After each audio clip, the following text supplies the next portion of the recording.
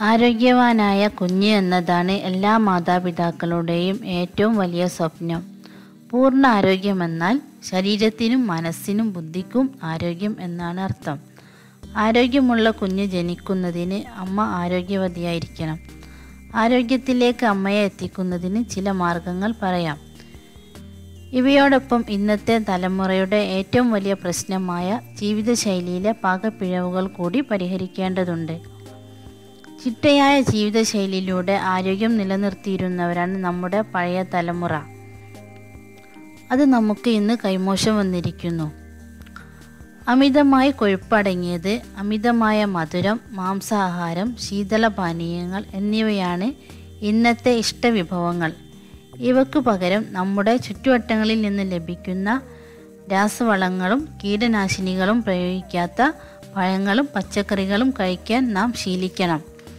നാടൻ പലഹാരങ്ങളായ ഇലയട കൊഴുക്കട്ട അവൽ എന്നിവ ആഹാരത്തിൽ ഉൾപ്പെടുത്തുക.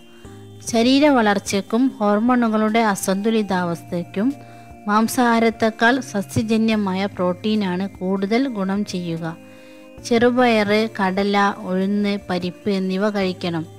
കുടിക്കുന്നതിന് നാരങ്ങാവെള്ളം സംഭാരം എന്നിവ നാം ഉപയോഗിക്കാൻ ശീലിക്കണം. ടെലിവിഷൻ ഇന്റർനെറ്റ് സ്മാർട്ട് ഫോൺ എന്നിവയുടെ അമിത ഉപയോഗം വ്യായാമമില്ലാത്തവരാക്കി മാറ്റിയിരിക്കുന്നു. ശരീരത്തിന് ക്യാൻസർ പോലുള്ള മാരക രോഗങ്ങളെ വരെ ചെറുക്കാൻ സഹായിക്കുന്നതാണ് വ്യായാമം. എത്ര സ്ഥലപരിമിതി ഉണ്ടെങ്കിലും ദിവസവും ഒരു മണിക്കൂറെങ്കിലും ശരീരത്തിന് വ്യായാമം ലഭിക്കുന്നു എന്ന് ഉറപ്പുവരുത്തണം.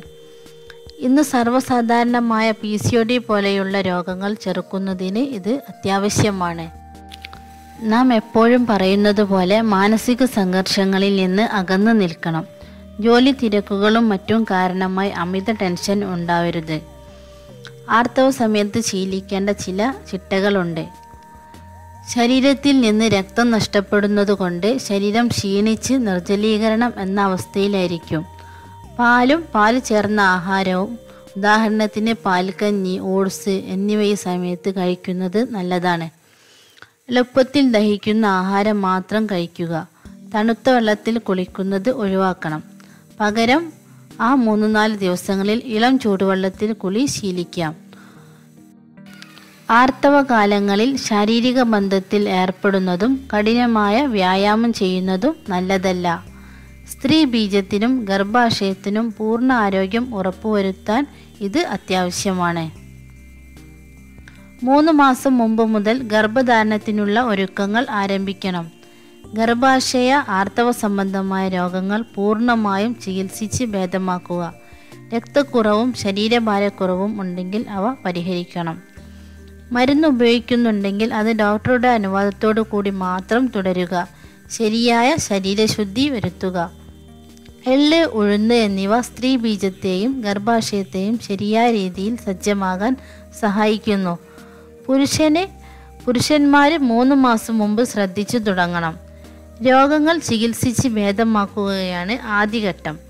ശരിയായ ശരീരശുദ്ധി വരുത്തുക മറ്റു രോഗങ്ങളില്ലാത്തവർ പാൽ നെയ്യ് വെണ്ണ എന്നിവ കൂടുതലായി ഭക്ഷണത്തിൽ ഉൾപ്പെടുത്തണം. സ്ത്രീ പുരുഷ ബീജങ്ങളുടെ ആരോഗ്യം കുഞ്ഞിന്റെ ആരോഗ്യത്തിന്റെ അടിസ്ഥാന ഘടകമാണ്. അത് ഉറപ്പുവരുത്തുകയാണ് ഇതിലൂടെ ലക്ഷ്യമാക്കുന്നത്. അതോടൊപ്പം ഗർഭകാലത്തും തുടർന്ന് കുഞ്ഞിനെ മുലയൂട്ടുന്ന സമയത്തും ആവശ്യമായ ആരോഗ്യം നേടുക എന്ന ഉദ്ദേശവും ഇതിനുണ്ട്. ഗർഭം ധരിച്ചു കഴിഞ്ഞാൽ കുഞ്ഞിന്റെ ആരോഗ്യം ഉറപ്പുവരുത്തുകയാണ് പ്രധാനം. കഠിനമായ വ്യായാമം അമിതമായ ശാരീരിക ബന്ധത്തിൽ ഏർപ്പെടുക ഓട്ടോ ബൈക്ക് എന്നിവയിൽ അധിക സമയം യാത്ര ചെയ്യുക എന്നിവയും നല്ലതല്ല.